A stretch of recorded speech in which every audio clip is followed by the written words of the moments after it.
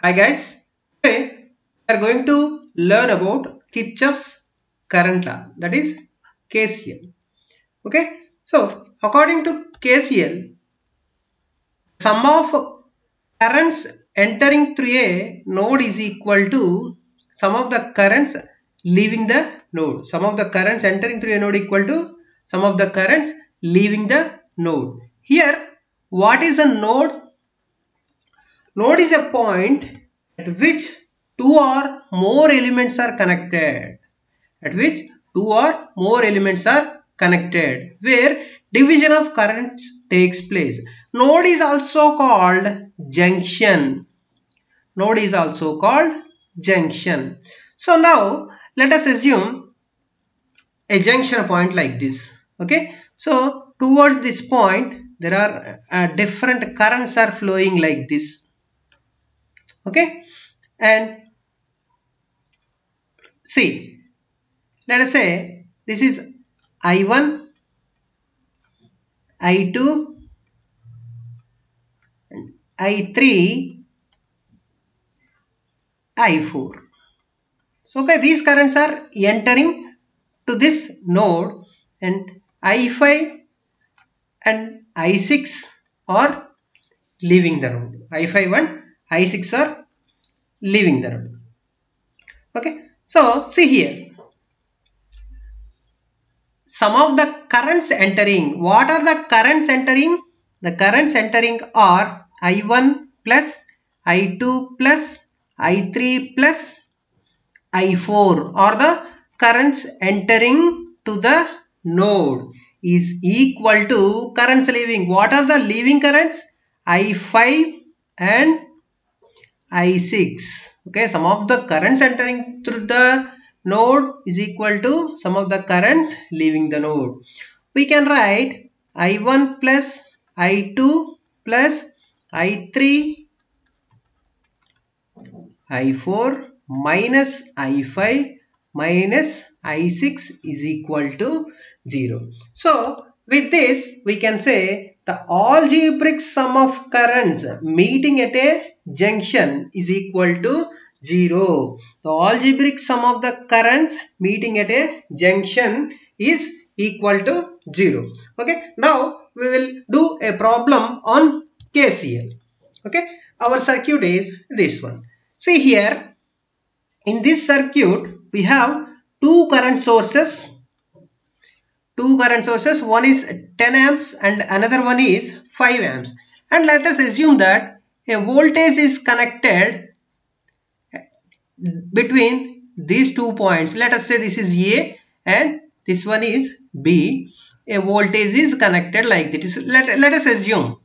Okay. So the main thing here we have to concentrate is in case of parallel circuits parallel circuits in case of parallel circuits, voltage is a constant. Voltage is constant across each and every element.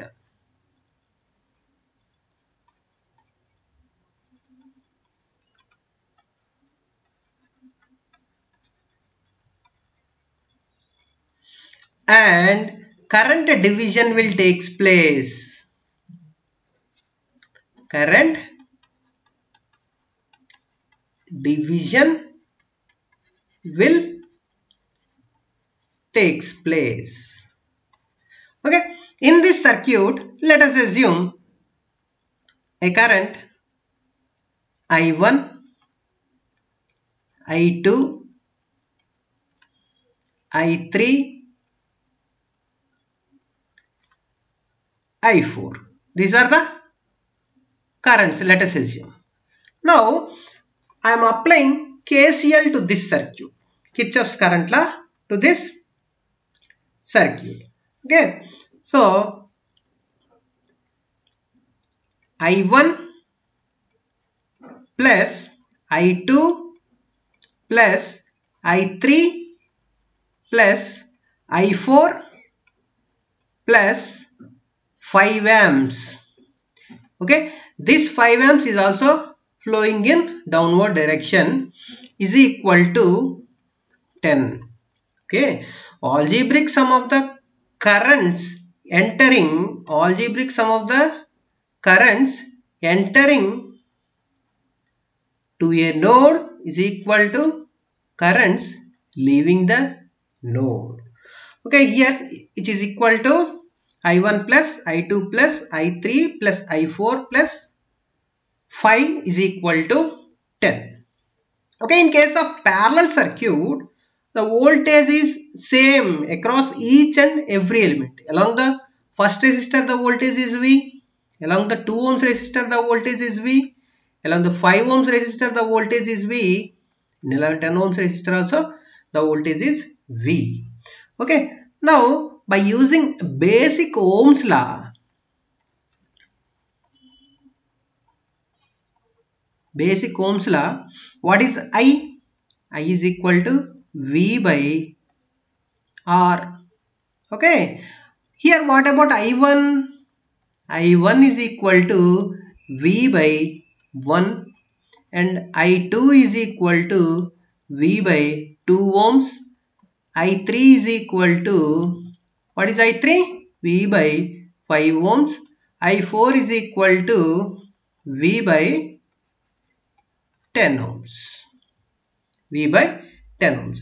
Now I am replacing all these values in the above equation. Say let us say this is a. Okay? Replacing i1 i2 i3 i4 in equation a. That is v by 1 plus v by 2 plus v by 5 plus v by 10 plus 5 is equal to 10 okay taking v as common 1 plus 1 by 2 plus 1 by 5 plus 1 by 10 is equal to 10 minus 5 is 5 now which is v into 1.8 is equal to 5 as a whole v will be 5 by 1.8 which is equal to 2.77 volts. Okay? V is equal to what is this v? E is equal to 2.77 volts. Okay? Now if you want to find the current across first element if you want to find i1 what is i1 is equal to v by 1 which is 2.77 amperes. And if you want to find current i2 that is v by that is 2.77 by 2 this is i2 2.77 by 2 which is 1.38 amps.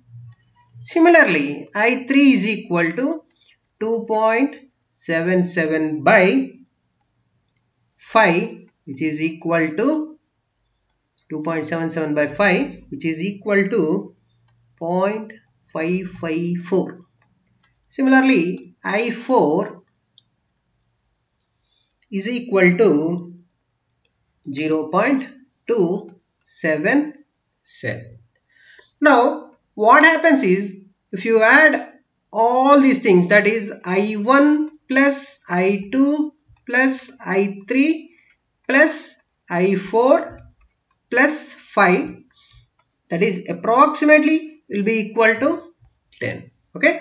So algebraic sum of the currents entering through a node is equal to algebraic sum of the currents leaving the node. Okay? This is about KCL thank you